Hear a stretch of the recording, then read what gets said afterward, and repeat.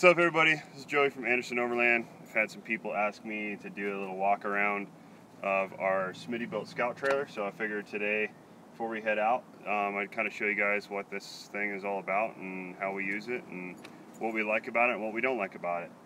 So I guess we'll just start in the front. Um, this comes with a breakaway system, a braking breakaway system um, with a battery um, and a charger. It's 12 volt. Um, it just connects right up to your uh, trailer hitch and stuff um, via the plug. I don't use it. I've never uh, hooked it up. Um, I installed it when we um, uh, built the trailer, um, but I never use it because I just don't feel like I need it.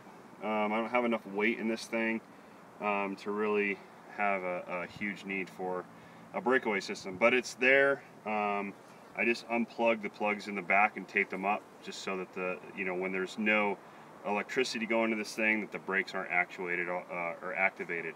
So anyways, comes with a breakaway system, which is cool, cool feature. Um, one thing that it doesn't come with, which I was kind of bummed about, I had to buy separate, is an articulating hitch. Um, this is called the lock and roll hitch.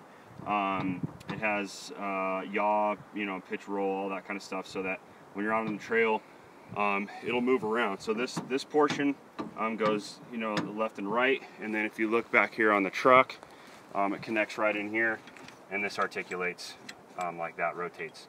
So it's a pretty cool feature. Um, they're about 250 bucks uh, from um, Lock and Roll. If you go to Lock and Roll Hitches, I think it's lockandrollhitches.com. you just search Google, it'll come up.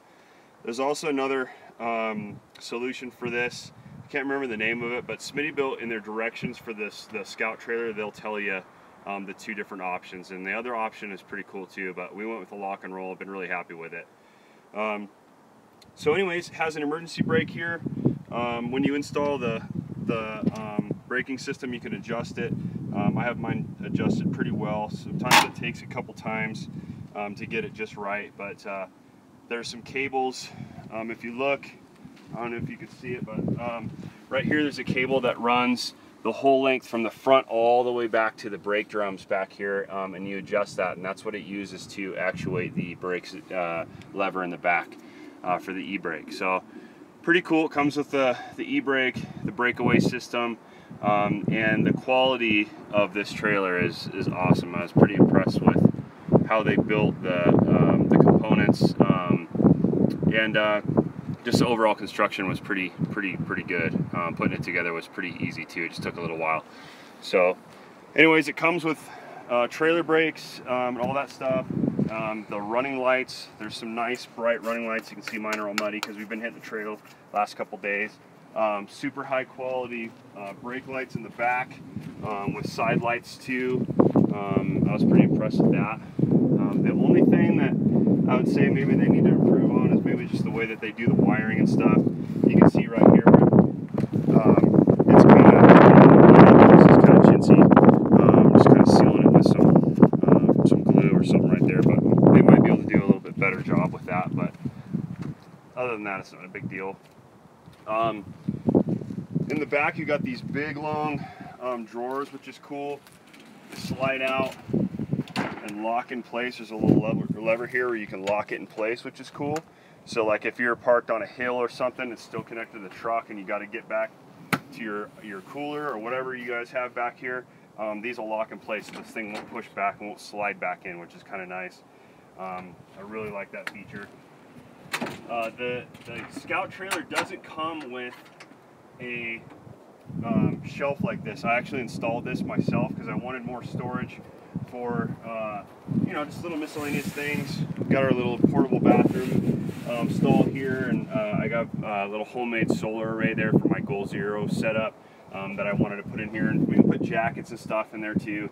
Um, I also put these little click-on uh, lights um, in each compartment, which is nice at night when you come back to camp. We're usually out on the trail a lot um, during the day, so at night when I come back, um, I light this thing up like Fort Knox. I installed these lights here. These run back uh, through the back compartment um, along here and into my Goal Zero battery. I store my Goal Zero battery in all of our light systems here. You can see the light there, um, the cable, and I just made just a little a little um, custom 12 volt plug-in I can just plug right into the front of the Goal battery, Goal Zero battery, so that way I can turn it on and off like a switch um, when I want it, and um, it's not hooked to the trailer. Because um, I wanted to be able to use it outside of being able to, you know, outside of being hooked to the 4Runner uh, power. I wanted it to be uh, powered uh, by the Goal Zero system, so that way when it's disconnected, I don't got to worry about that, um, which is kind of convenient. Um, and that way too, I run a cable up to our overlanding tent here right through the compartment and it lights up our tent inside too from the Goal Zero and I can just disconnect and connect it to turn it on and off up there which is kind of convenient.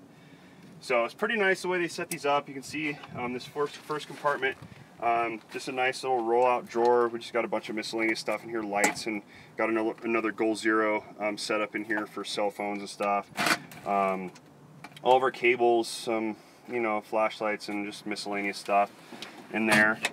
And then uh, we store our uh, our Camp Chef Summit series, uh, which we did a review on yesterday. We'll be posting that too, um, as long as lanterns and all of our propane uh, bottles and and uh, that kind of kind of thing. Um, we put our batteries and stuff for our flashlights in here. Just a nice little compartment for that. Um, I mean, obviously you guys will set it up however you want to set it up, but that's the way we have ours. Um, it's nice. Each one of these doors has a nice quality latch with a lock on it, so you can feel pretty good about leaving this thing behind on the trail. Um, it's nice that they put that feature in there, and they're pretty high quality. You can see um, they're, they're, built pretty beefy. They're well-made um, part. So, um, like I said, in the back here, you've got this tray, and you have a shelf one. You can see the difference in the two trays. I took these um, little tie down hooks off of this one because we wanted to be able to slide our stuff back in here easily. Um, but it just depends on your application. These are a max 200 pound uh, load. Um, what would be cool in the next version if they would make it so that you can flip them. So say I want a tray over here and shelf over here or both, you know, shelf, shelf or whatever. It's pretty much exactly the same thing, I think. Um, so it'd be rad if they, you could flip them. Um, that would be an option that I think would be cool. Um, but they, they lock in place, so you know, you got an extra lock there, which is nice. Um, they also have tie downs on the inside wall here. They put these little uh, eyelets here on the inside, which is pretty rad. Um, all the way back. Um, they're just mirrored to the ones on the outside. So you got ones here on the outside of the trailer too to tie stuff down with. We usually put our our uh, Smittybilt uh, recovery ramps here, um, just so they're you know attached to the trailer. Um, so pretty nice, um, lots of storage. This this thing goes uh, pretty far back. Um, and what I liked about this trailer, we, we went to the Overland Expo um, in Flagstaff a couple months ago, and we were looking at Turtleback and uh, gosh, there's a bunch of, of companies out there. And for a setup with compartments and solar and all that stuff, I was getting quoted like twenty to twenty-five thousand dollars for a trailer like this, and a lot of them, to be honest with you was basically just a Toyota Tacoma uh, bed with two tires on it. I mean, anybody could build that. You could go to a military surplus and, and get something like that and build it up. Um, and, and a lot of them weren't compartmentalized. I'm big on compartments. I'm a fireman. My engine, my truck are all compartmentalized. I like to know where all my equipment is and where to go. Um, and uh, with this Smittybilt Scout trailer, they did a really good job of that. Um, they, they really thought it out. Um, on the other side here, um, you have, um, actually first before we move there, yeah, you have these stabilizers. Um, this is kind of nice, so when you have your, your tent up top, you know, whether it be a CVT or Smittybilt or whatever it is, we have the Smittybilt Overlander, which is really nice. They give you these little gauges here, um, little levels, so you can get it level, because it's, it's kind of a bummer when you're in your tent and you're rolling to one side in the middle of the night, right? So I'm big on having stuff level. Um, it's nice they give you these, these crank um, stands here so you can level your system out. Um, there's one on the front, obviously, for the front of the tail, or the front of the, um, uh, the tongue of the trailer. And then there's these two, and these disconnect, which is kind of nice. So um, they made it really nice so that you can either flip this thing like this and store it to the side when you're traveling. I don't like to leave them on there when I'm traveling, so I just pull them off, stick them in the front with all the rest of my tools.